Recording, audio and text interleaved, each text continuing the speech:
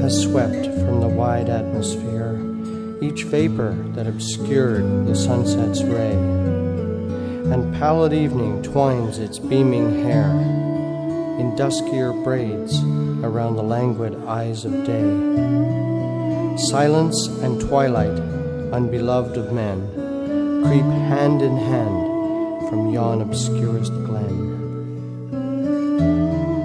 They breathe their spells towards the departing day, encompassing the earth, air, stars, and sea.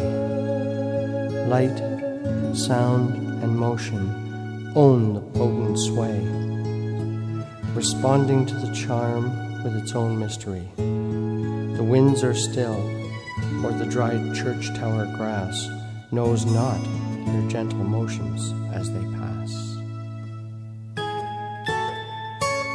Thou too, aerial pile, whose pinnacles point from one shrine like pyramids of fire, obeyest in silence their sweet solemn spells, clothing in hues of heaven thy dim and distant spire, around whose lessening and invisible height gather among the stars the clouds of night.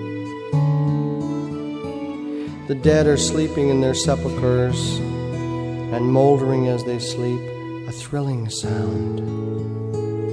Half sense, half thought, among the darkness stirs.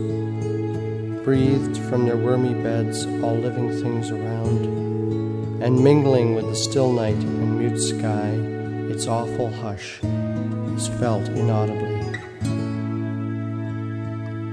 Thus solemnized and softened, death is mild, and terrorless as this serenest night.